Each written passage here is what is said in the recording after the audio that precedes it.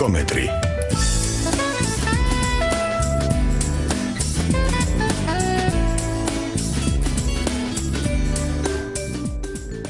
ცეოლითი დუღარე ქვები უნიკალური შემცველობის წიაღისეული რომელიც ფართოდ გამოიყენება მრეწველობაში მაღალი ტექნოლოგიების ნანოტექნოლოგიების მათ შორის მედიცინისა და სოფლის მეურნეობაში ამ იშვიათი მინერალის საბადო საქართველოში რამდენიმეა?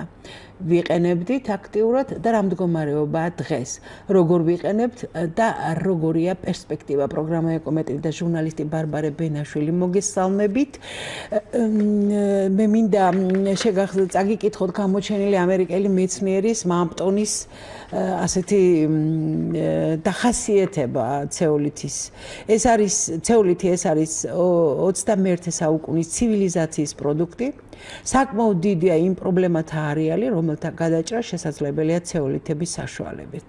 თვარეზე ხელოვნური ნიადაგი შექმნიდან დაწყებული, ახალი ეფექტური მოქმედების წამლების წარმოებით დამთავრებული. რა და როგორ იყენებენ აი ამ ცეოლითს? რა მიმდინარეობა აქვს? რამდენი განხრით შეიძლება გამოვიყენოთ ეს? მე ზოგადად ჩამოგითვლით. წარმოიდგინეთ, რომ გამოიყენება ატომურ და ბირთვულ ენერგეტიკას práticas. და კიდევ ერთხელ წარმოიდგინეთ, ცეულიცგან შეიძლება გაიწმინდოს ეს ძალიან მარტივად ხოლმე ერთ მიმართულებას გეუბნებით რადიოაქტიული ნარჩენებისგან დაბინძურებული წყალი და ნიადაგი. ეს ერთი ძალიან მარტივად. ნავთობქიმიურ მრეწველობაში მოგეხსენება დღეს სოფლიო წყლები დაბინძურებულია ამ ნავთობისგან და აი სწორედ გამწმენდად ანუ შემწოვად აცორბანტად იყენებენ ცეულიც.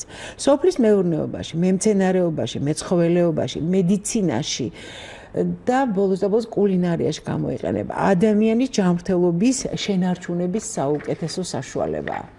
წარმოიდგინეთ, კვილის პასტები, დეზოდორანტები, სარეცხ საშუალებები, სახის საცხები, საბჭოთა კავშირის უზარმაზარი იმპერია მასიურად იყენებდა კვების ტექნოლოგიაში, სხვა შორის პურის ხობის ტექნოლოგიაშიც. სწორედ საქართველოს საბადოებიდან გაქონდეს ეს უნიკალური მინერალი, რომელიც დღეს მთლიანად ვერ იყენებს აი იმ დიდ რესურსს, რაც აქვს. თუმცა ის საბადო, რომელიც არსებობს, არის საქართველოში ერთ-ერთი ძალიან მნიშვნელოვანი საბადო, დღეს მუშაობს. ჩვენ იქიდან ჩართვა გვექნება აუცილებლად და დღეს კი ეთერში მოვიწვიეთ ცეულითების ასე თქვა დიდი მფარველი. და ადამიანი რომელმაც ბევრი რამ გააკეთა იმის რომ ცეულითები ასეთი დიდი გამოყენება ქონოდა და არა მარტო ცეოლითებს ჩვენი სტუმარი გახლავს სახელმწიფო პრემიის ლაურეატი საქართველოს საინჟინრო აკადემიის დამფუძნებელი აკადემიკოსი დამსახურებული ინჟინერი ბატონი نيكოლოზ ცხაკაია ძველი თაობა შესანიშნავად იცნობს ამ დიდ მეცნიერს.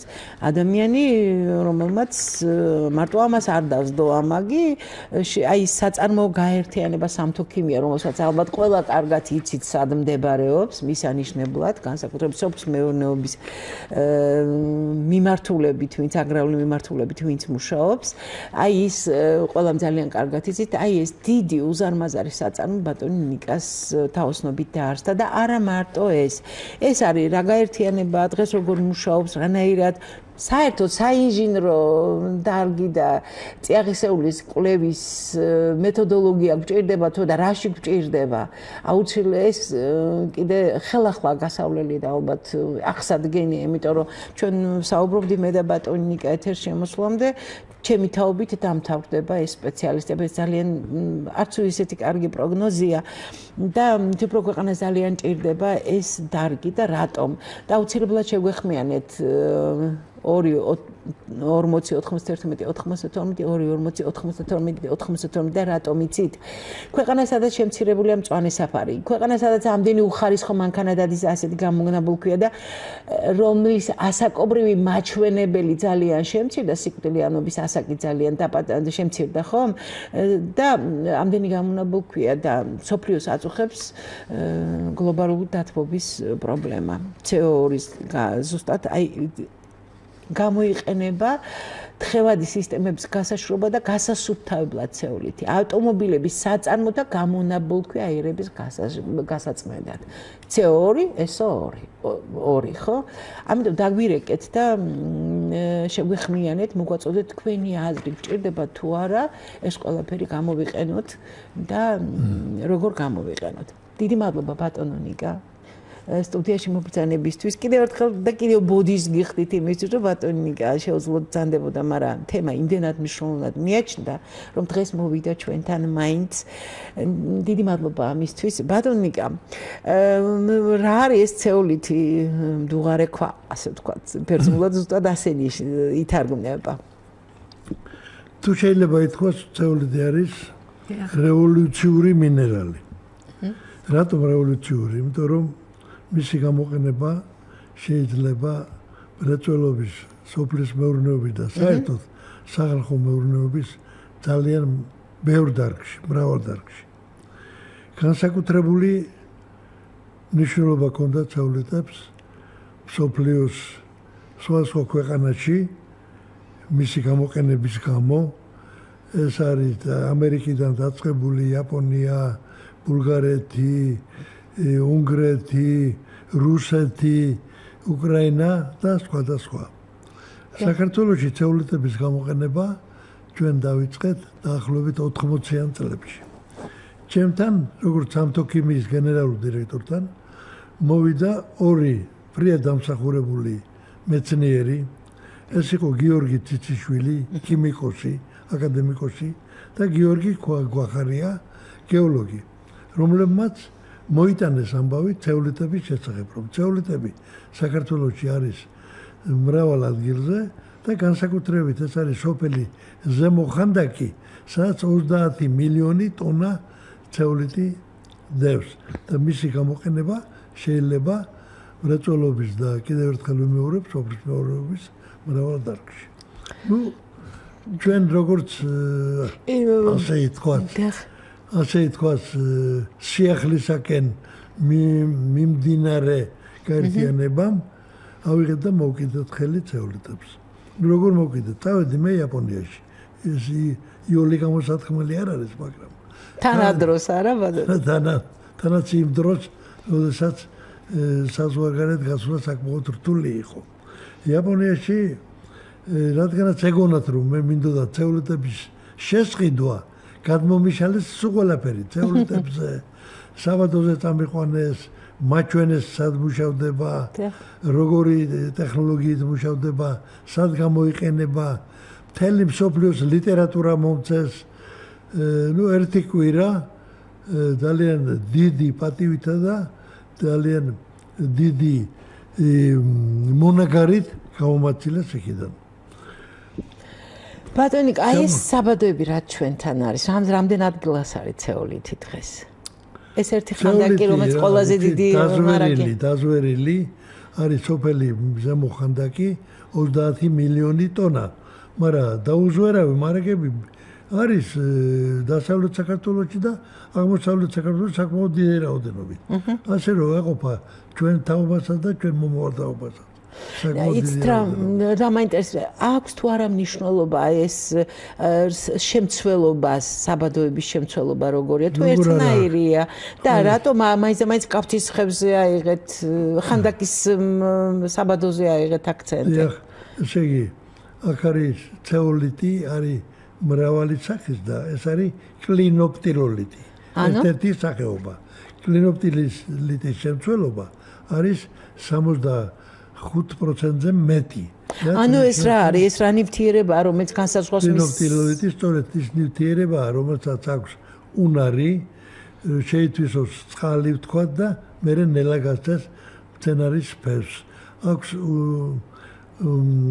ძალიან მრავალი წერტილოვანი მრავალწერტილოვანი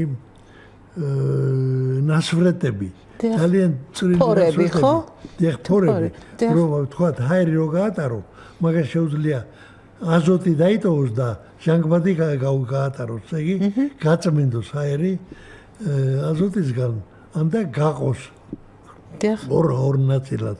აი ამ უნარის გამო არა მარტო ზემოხანდაკში, არამედ ხეკორძულაში გვაქვს ესე კიდევ ძალიან მაღალი ხარისხი 80%-ზე მეტია იმასაც ვამუშავებდით ჩვენ, მაგრამ შემდეგ მოთხოვნილების გამო შეწყდა და ნუ საქართველოს სხვა სხვა რაიონებშიც არის. ბადენიკა, საინტერესო აი რა მიმართულება ერთი სოფს მეურნეობა, ეს როგორც მინერალური სასუქი გამოიყენება, ხო? რომელიც შეიძლება გამოვიყენოთ ბიოპროდუქციის მოსაყვანად, ხო? ეს ერთი მინერალური სასუქი არ გამოიყენება. როგორც ბიოსასუქი.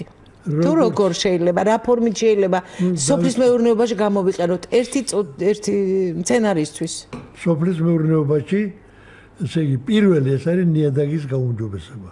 აჰა. ესე იგი ქვიშნარი ნიადაგები, ისეთი ნიადაგები, სადაც ნაკლები არის მინერალური საწუხები, თქვათ, მინერალური ნივთიერებები, კალიუმი, ნატრიუმი, კალციუმი და სხვა და სხვა, აი ცეოლიტი რო შეურიო, გამოდის რომ ეს ხდება უკვე ნიადაგის ხუმუსული ფენა უმჯობესდება, ხო? უმჯობესდება ნიადაგი. მაგალითისათვის ჩვენ გთხოვეს ცეულიტები არაბულ ქვეყნებში. იქ ქვიშა თქო და ქვიშა უტევს კუვეიცაც, ომანსაც, ერახსაც და სხვას და აი გავაგზავნეთ ჩვენ ცეულიტები გამოცადეს და მოინდომეს რომ გავაგზავნოთ ჩვენი სპეციალისტები რათა იქ ადგილზე ჩაატარონ მაგათარად კონსულტაციები მაგრამ სამწუხაროდ ფული ვერ გამონახა. ვერც საგარეო საქმეთა სამინისტრომ ვერც ეკონომიკის სამინისტრომ და ვერც ჩვენ რომ ჩავიდეთ და რადგანაც ეკონომიკაზეა ლაპარაკი ხარ წარმოიდგინეთ თქვენ.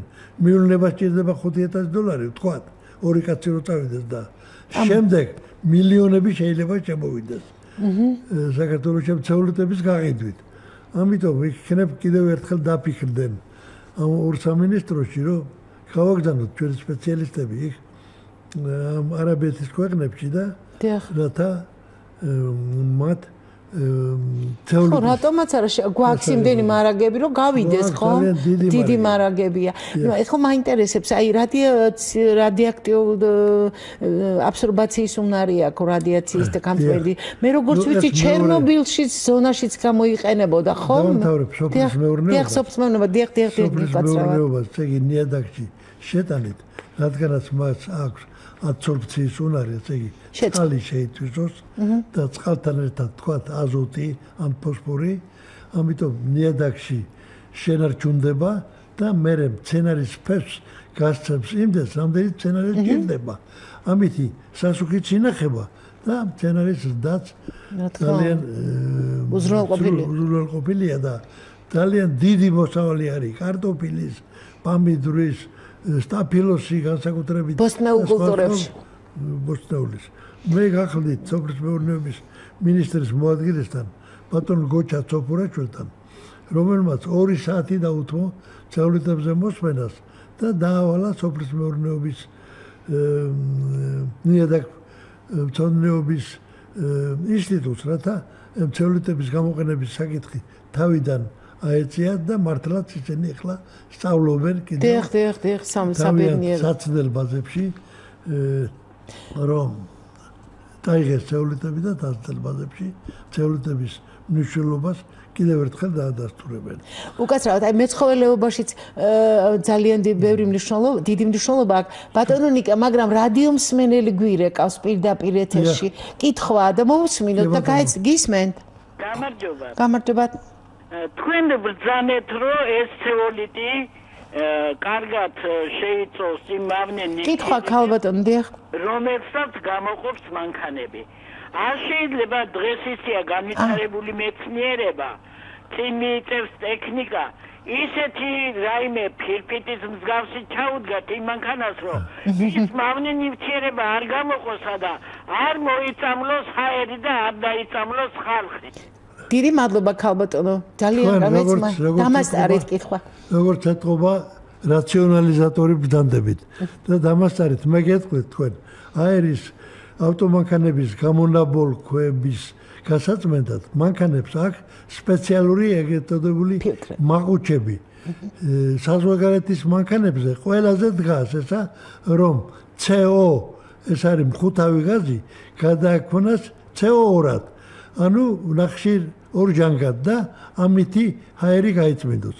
მაგრამ როგორც კი საქართველოსში შემოდის ეს საზღვარგარეთის მანქანები, იმ წუთში ამას აძრობენ, რადგანაც ძვირი ღირს, შიგნით არის პლატინა, პოლადიუმი, ნიკელი და სხვა და სხვა და ყიდიან 7-5000 დოლარამდე. ჩვენ გვაქვს გამოგონება, რომელიც გამოვცადეთ უკვე, ამ მაღუჩის მაგივრად ცეოლიტები ჩავტვირთეთ. მაღუჩი საზღვარგარეთისა ღირს 7000 დოლარი, ჩვენი ცეოლიტებით გაკეთებული მოწყობილობა ღირს 80 ლარი. ეს გამოცდილია უკვე პოლიტექნიკური ინსტიტუტის ავტომობილების კათედრაზე მოწონებულია ბუნების დაცვის სამინისტროს მიერ, ეკონომიკის სამინისტროს მიერ და ასე შემდეგ და სწორედ აი ახლა რო ჩატარდება ორი წლის მერე ავტომანქანების დათვალიერება, აი ამისათვის არის საჭირო რომ მომზადდეს რომ ყველა მაყუჩი ჩაიში ჩაიდგას ცეოლიტების გამწმენდი, რათა აერი ადარბის დაბინძურდეს. თქვენი ხოვთ მანქანის მძღოლებს, ვინც ახლა გვისმენს და ვიცი რომ გვისმენენ, აუცილებლად მიმართეთ, სად შეიძლება მივიდნენ ბატონიკა? სამთოქიმიაში. სამთოქიმია იცით ყველან ძალიან კარგად, ძალიან გთხოვთ, დაიცავით თავი და ჩვენც გადაგვარჩინეთ იმისგან, რაც თბილისში ხდება, ძალიან გთხოვთ და მეცხოველი. პირველ რიგში, პირველ რიგში უნდა დაინტერესდეს ქალაქის მერია, პირველ რიგში. და განსაკუთრებით ის სამსახურები, ავტოსამსახურები, რომლებიც მათ ახლავს, რომ ერთობლივად დაიწყოთ ჩვენ თურმე საქართველოში არის 1.300.000 ავტომობილი. და წარმოიდგინეთ თქვენ მათ შორის 80% თბილისშია და როგორი სიბინძურე მოდის ამ მანქანებისაგან. და როგორი გაწმენდა უნდა ამას.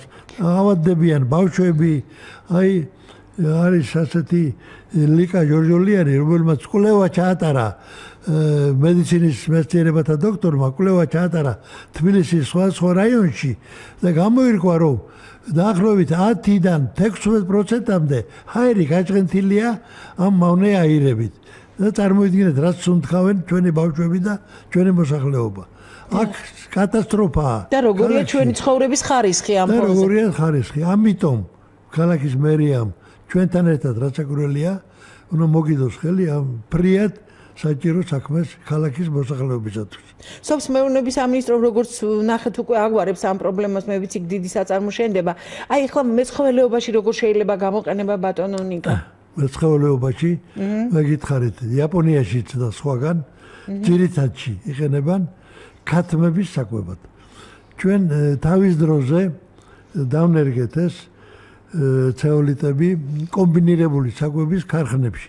ესე იგი კომბინირებულ საკვებს ემატება 5-დან 8%-მდე ცეოლიტი და ამითი ქათმის წონამატი იზრდება რატომ?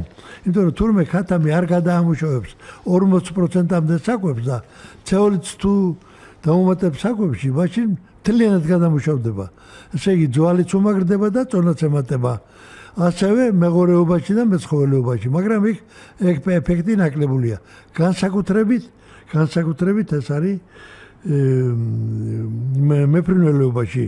ჩვენ ამას წინათ ველაპარაკეთ მუხრანის მეფრინველეობის ფაბრიკებს და ბატონმა ნოზაძემ უკვე დაგვიკვეთა 20 ტონა ცეოლიტი, რათა დაამატოს და ქათმის ხარისხის გაიზრდება და მისი მისი წონაც.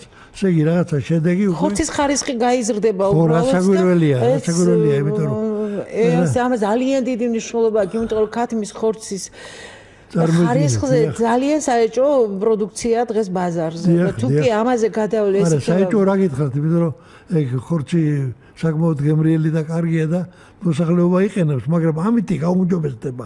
მაგისი მაგისი ხარისხი.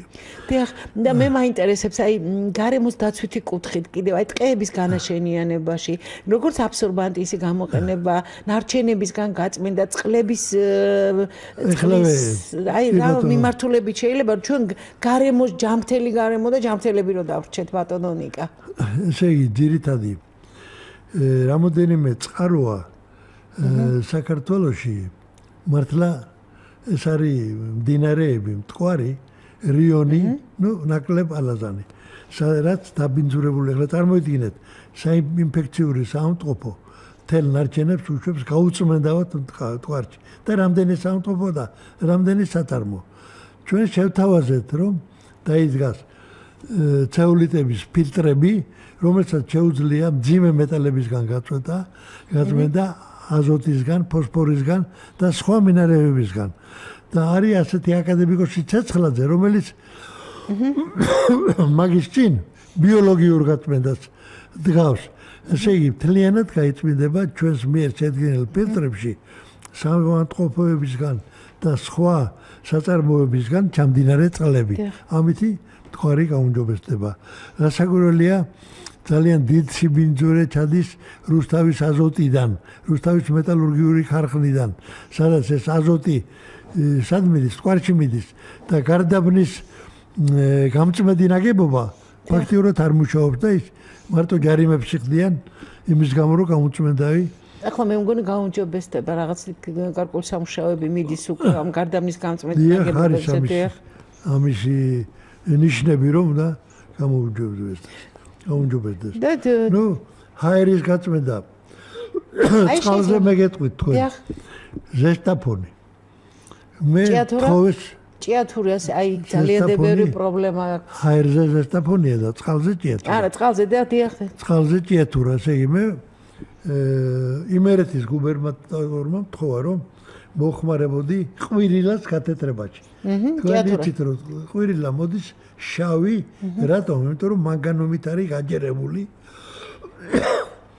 6 ქარხანა არის ჭიათურაში და 6-ვე დაახლოებით 1 მეტრი დიამეტრის მილიდან უშვებს ამ შავ წყალს. ესე იგი, ნარჩენები მოდის ძალიან ცირე ნაწილაკების.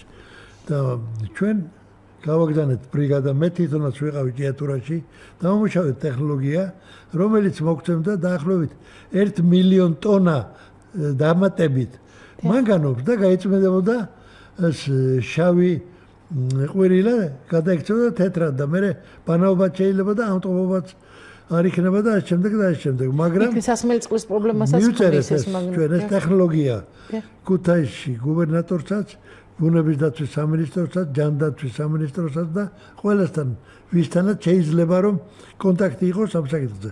ყველამ გამოგვიცხადა მადლობა და სთხოვეს რომ ჭეთურ მაგანობს გაეკეთებია ჩვენთან ერთად ტექნოლოგია დაენერგა საწარმოში, მაგრამ მაგათგან ერთურა არ არის. არა ძალიან სამწუხარო. მაგათ რაღაცა ქეჩოში მაგიდოს კაცმა ხელი რომ ბოლოს და ბოლოს ეს ყვირილა კათედრდეს. ასევე არის ზესტაფონი. ასევე არის ზესტაფონის ჰაერის გაწმენდა. მადაც გვაქვს ტექნოლოგია და ჩვენ ჰაერის გაწმენდა ცეოლიტებით ეს არის ასეთი ლალი ახალბედაშვილი უნივერსიტეტის დოქტორი, რომელმაც აი ეს გამოცადა და გააკეთა მაგის ტექნოლოგია, აი მაგის დანერგვა საჭიროა. უარესი ხდება კაზრეთში და ბოლნისში. ის ოქროს გამდიდრებისას გამოიყენება ციან მარილები, რომლის გაწმენდისთაც კი არის დაინტერესებული ეს ბოლნისის ოქროს საწარმო, მაგრამ მაგათი ძალიან დიდი ნაკლოვანებები ეს რომ ჩადის ეს დინარე მაშავერაში და ავადდება იქაურობა იქაური მინდვრები სავსეა ციან მარილებით ბარიტით და სხვა სხვა ნარჩენებით აი იქ არის კატასტროფა. ეს არის რეგიონი, რომელიც ძირითადად ამარაგებს ბოსტნეული კულტურებით და რძის პროდუქტებით საქართველოს დედაქალაქს, სადაც მოსახლეობის ყველაზე დიდი ნაწილი ცხოვრობს. აი იქიდან მოდის მოდის ჩვენსკენ. აი იქაც არის რომები მიიღება საჭირო. მე სხვადასხვა ვთხოვე ეხლადელ სამინისტროში არა, მაგრამ წინა არჩეულ სამინისტროს. ეს მაშინ როცა გოგა ხაჩიძე იყო მინისტრი? დიახ. დიახ. შარაშენიძე იყო. გარემოს გარემოს დაცვის ახლანდელ გარემოსა და ბუნებრივი რესურსების დაცვასთან. დიახ. და შარაშენიძესთან მაგათმა ჩაადარეს თათმირი, მოიწვიეს თავიანთი აპარატი და სხვადასხვა მაგათ სისტემა კარგია. ყველა ჯამდინარე წყლის ანალიზს იღებენ ყოველ დიახ, მაგრამ რო ხედავს იქ მე უფლება არა აქვს რომ უთხრა საწარმო შენ რო აბინძურებ ამ წყალს აჰა მიიღეძომები არა აქვს უფლება და ეს თავრობა კანონი არ არის კანონში. არ არის კანონში ეგამბო საჯარიმო სანქციები საკმაოდ დიდი აქვს მაგათ და რა მომენტია ხო იცით რა იგივე დიახ აგერ მაგ მე მაგათი წერილი სადაც ამბობენ რომ ჯარიმები დააკისრეს როგორც თეატრში ასევე ბოლნისში მაგრამ მარტო ჯარიმა რაშველი საჭიროა კონკრეტული ღონისძიებანი მე ასე შევთავაზე რომ საჭიროა გამოიყოს თავრობის კომისია რომელიც ინვენტარიზაციას გაუკეთებს ყველა საწარმოს რა სიბიძურე ჩადის დინარეებში. მონიტორინგი უნდა გაკეთდეს და დააწესოს, იცით, ეს მექანიზმი უნდა შეინარჩუნოს, რაც უნდა პრივატიზებული იყოს. მე მგონი და ეს კანონშიც აისახა ბატონიკა, რომ დაკვირვება უნდა მიმდინარეობდეს საწარმო რასაკეთებს. გარემოს ეროვნულ სააგენტოს. დაკვირვება არის, მაგრამ შედეგები არა. შედეგი არ არის, იცით, რაღაც ერთი ერთი ხელით სხვა მარჯვენა სხვა საკეთებს, მარცხენა სხვას და მაგრამ დღეს მუშაობს კასპში მაინც ის ქარხანა ნაწილობრივ საბადოს მომდამუშავება და მოპოვება ხდება. ცოტა გადის, ცოტა. აი გითხარით ახლა მე პრივილოების ფაბრიკაში წავა. მე არ მithქვია ის რომ ჩერნობილში რომ მოხდა კატასტროფა. ჩვენ 80000 ტონა ცეოლიტი ორ თვეში გავაგდანეთ. დღე და ღამე მუშაობდით რომ ჩერნობილიდან ჩამდინარე წყლები გაგვეწმინდა და მართლაც ის გააკეთეს ძალიან დიდი არხი, ჩაღერეს ჩვენი ცეოლიტები, გაიარა ამ ჩამდინარე სტრონციუმიანმა წყალმა და გაიწმინდა. დიახ. ეხლა ერთი ორი ვაგონი მიდის ჩვენგან იქა ჩერნობილში. ეხლა ჩვენ კასპიდან გვეცრება დირექტორი სად? უკაცრავ სმენელია ჯერ მოусმინოთ გისმენთ. გისმენთ. გამარჯობა ქალბატონო ბარბარე მივესალმები თქვენ პატრიცემულ სტუმარს. ეთქობა ხმაზე რომ საკმაოდ ხანდაზმულია და ალბათ ბატონო პატრიოტთან პასუხს გამცემს და აი რა მაინტერესებს ბატონო აი როდესაც ადამიანის ცხოვრება დამოკიდებული ერთი საკვებთან და მეორე კიდე გარემოსთან ცხალი და ხაერი და აი ამ შემთხვევაში როდესაც ვისაც ამ ხელის ამ საქმის მოგვარება ხელეწიფება და ისინი არაფერს არ აკეთებენ და მხოლოდ მეუსთან დაგერდაგიდე არა არა არა არა მოდით სწორად გავიგოთ. ჩვენ ნახეთ რომ სოფლის მეურნეობის სამინისტრო მატარებს კვლევებს და იქ დიდი საწარმოც კეთდება. ხალეთ ხალ ბატონო ბარბარა. რა მაინტერესებს? აი ბატონო როდესაც ეს საერთოდ ყველა გარემოში ყველა ცხოვრობს ერთია თავის დაქცევა ამისაგან რომ შეუძლიათ ის რომ თქვა კონდეს სპეციალური მეურნეობა და იქ მოიწიონ თავიანთი როგორც ხარ მაგალითად იმ პუტინს აქვს თავისი მეურნეობა და იქ მოხავს თავისი ეკოლოგიურად სუფთა და სადაც კოლორადოებს ხელიდან იჭერენ და ისე სუფთა პროდუქტები და მეორე კიდე ანდა უნდა ცხოვრობდნენ ეს ხალხი თავის პატარა მიკრო გარემოში სადაც აი ატმოსფერულ ხაირი არ მოხდა აი როგორ ხდება საქართველოსში თქვა აი ესეთ ხალხს ვისაც ეს უნდა თავი არ შეაიწუხებენ და ცხოვრობენ ისინი ამ პატარა თავიანთ აი სასახლეებში სულთა ხაერი აქვს და როდესაც გამოდიან კარეთ აცია სკაფანდრები და იკვებებიან ამ ნატურალურ პროდუქტებს როდესაც ქვეყნის ხალხი ასე იწამლება ხო ძალიან დიდი მადლობა. იცით ძალიან გაბრაზებული ხართ თქვენ ჩვენს გაბრაზებული ვარ და მინდა რომ გამოვიყენოთ. ჩვენ ახლა უახლოეს მომავალში ვეცდებით რომ კასპში დავრეკოთ. ბატონ ვაჟა გოგოტიშვილთან რომელიც ამ ცეულითებზე მუშაობს. უახლოეს მომავალში დავეცდებით ახლა დაუკავშირდეთ. და მაინტერესებს კასპის აი ეს საბადო როგორ მუშაობს მაგრამ მე მოდით იცით ეკო ვიქტორინის მე გავაკეთოთ ეს ყველაფერი. ეთერში ეკო ვიქტორინა. ეკო ვიქტორინის დროა. მოდით ახლა კითხვას დავსვამ და მე პასუხი აჰა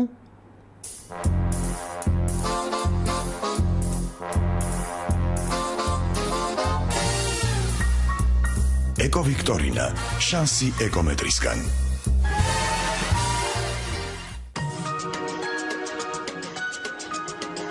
შევინარჩუნოთ ნიადაგები და გავაუმჯობესოთ სიცოცხლე მთელ პლანეტაზე. შემოგვიერთდით. ერთად შევქმნათ ჯანმრთელი გარემო მომავალი თაობისთვის.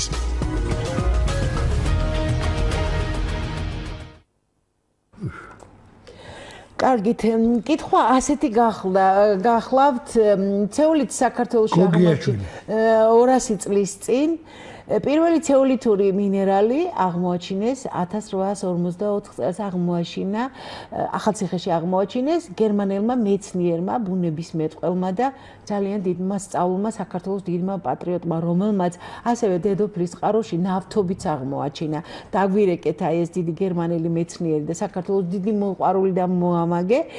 ვინ იყო? მ, 240 91 92 240 92 92 შენ თქვენ შესანიშნავი პრიზი გელოდებათ. გან თქვენს ბავშვებს ეს არის გარემოს დაცვითი ცნობიერების ასამაღლებელი თამაშების მთელი სერია წიგნების ლიტერატურების ლიტერატურის რომელიც დააწესა ორგანიზაცია ეკოვიჟენმა ჩვენ ყველამ კი უნდა რა თქმა უნდა როგორც იცით უნდა ავიღოთ აქცენტი იმაზე რომ სა- საქართველოში იყოს ბიოლოგიური წარმოება, ბიოპროდუქცია იყოს, ჯანმრთელები ვიყოთ, ამისთვის უნდა შეგვიწყოს ხელი, შევუწყოთ ხელი და ხელისუფლებამაც დაინტერესდება ალბათ, თუნდაც იმით, რომ იგივე ცეოლითების გამოყენებას ინტენსიურად დაიწყებენ. ჩვენ ვაგრძელებთ გადაცემას უახლოეს და ვეცდებით დაუკავშირდეთ კასპის საბადოს მანამდე კი გოგიაშვილი ვაჟა. ბატონ ვაჟა გოგიაშვილს და ბატონიკა აი რა პერსპექტივა გვაქვს ახლა იმის რომ გამოვიყენოთ? თქვენ როგორ ატყობთ? შეგვი უნდა გამოვიყენოთ სასტრაფოთ ეს ყველაფერი თუ როგორ უნდა გავაკეთოთ? რასაკვირველია უნდა გამოვიყენოთ. მე კიდევ ერთხელ მიმართავდი სოფლის მეურნეობის სამინისტროს აა მე როგორც მოგახსენეთ ბატონმა გოჩა ცოფურაშვილმა ინგლისის პირველმა მოადგილემ მიგვიღო და საქმის კურსია რომ ცეოლიტები დიახ. უკაცრავად ბატონიკა მ, თუ- პასუხს ვიღებთ ეხლა ეკო ვიქტორინაზე მითხარით აბა? გეხტმანია პროფესორი მო არა არა არა არა არა არა არ გახლავთ ეს სხვა არის ეს გახლავთ ედვარდ ეიქენფელდ ფალდი რომელმაც ძალიან დიდი დადო ამაგი ე, საქართველოში ამ ცეოლითების წარმოებას და ჩვენმა მეცნიერებმა გააგრძელეს ბა- მათ შორის როგორც გითხრათ ციციშვილი ბატონ გიორგი ვახარია და ბატონ ნიკა აგერ ჩვენი სტუმარია დღეს ხაკაია დიახ და აი მე როგორც ვიცი იქ შენდება საწარმო ბატონ ნიკა კასპში. კასპში აშენებენ სწორედ ამ ბიოლოგიის მიმართულებით ჩენდება საწარმო დიახ.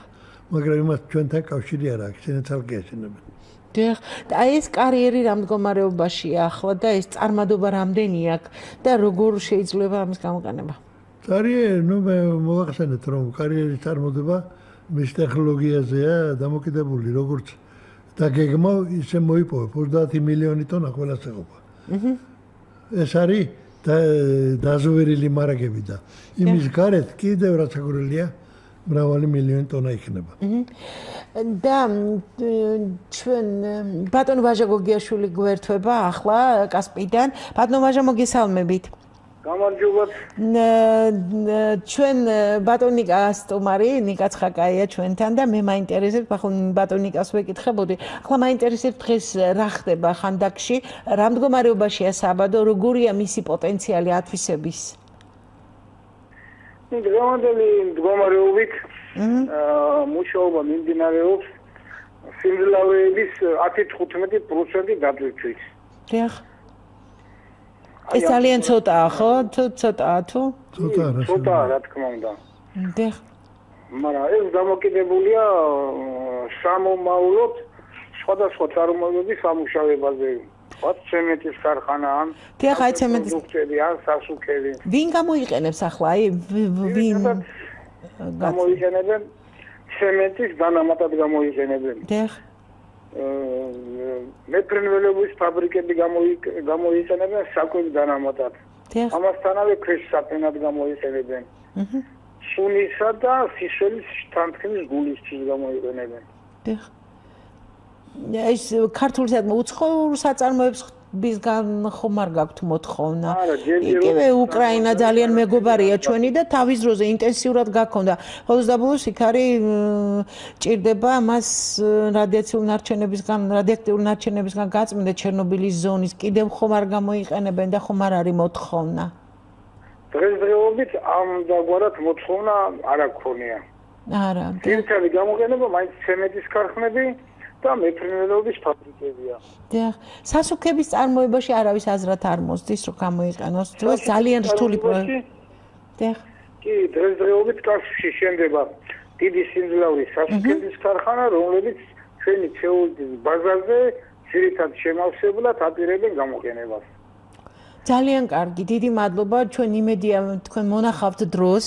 მე ვიცი რომ თქვენ დრო არ აგაქვთ და ჩამოხავთ და ამაზე ვისაუბრებთ, მაშინ როცა საწარმო ძალაში შევა, როცა აშენდება და დამთავრდება. მე მგონი სადაცაა დამთავრდება, ხო? დამთავრების პროცესშია უკვე. კი, სექტემბრისთვის უკვე ამუშავებას აპირებენ რაღაცა რაოდენობის გამოშვებას მაინც. და ეს ძირითადად თქვენი კარიერიდან მომარაგდებიან, ხო, მამით? კი, ჩეულის კარიერი საქართველოში ორ ადგილზეა, ძირითადად ჩვენთან არის თეძამის საბადო და ხეკორძულას ხეობაში ძეგვის საბადო. აჰა. ძირითადად მაინც ეს თეძამის საბადოა. აჰა. კასპის რაიონის ზემოხანდაძის სოფელი. დიახ, წარმატებებს გისურვებთ ბატონო ვაჟა. წარმატებებს და იმას, რომ ხელისუფლებამ ალბათ იზრუნებს იმაზე, რომ ასეთი დიდი დიდი მარაგი გვაქვს და ამას აუცილებლად გამოყენება უნდა იმ უამრავი კუთხით. ჯერ სამ საწარმოების გაიხსნება, ალბათ და შეგვიძლია ამის ექსპორტზე გატანაც შეგვიძლია, ხო? მადლობა დიდი მადლობა. კარგად ზანდებოდი, დიდი მადლობა. ბატონ ნიკა. და ბოლოს ისე ეს ამ ცეულითებზე ალბათ ძალიან ბევრი საუბარი შეიძლება და ალბათ თუ მე იმედია კარგად იქნებით, მოიცლით ჩვენთვის და ალბათ დაუძახებთ სოფლმეურნეობის სამინისტროდან და გარემოსა და ბუნებრივი რესურსების დაცვის სამინისტროდან, რომ რაც შეიძლება ინტენსიურად ჩაერთოს ეს კაცეულითები ალბათ და კანონმდებლობაშიც აისახოს ეს ყველაფერი უნდა და სამომავლო პერსპექტივაზე. იმედია ქვეყნის განვითარების პერსპექტივი რაღაც გეგმა მაინც იქნება. მე რო ვიყო მაგათ ადგილზე.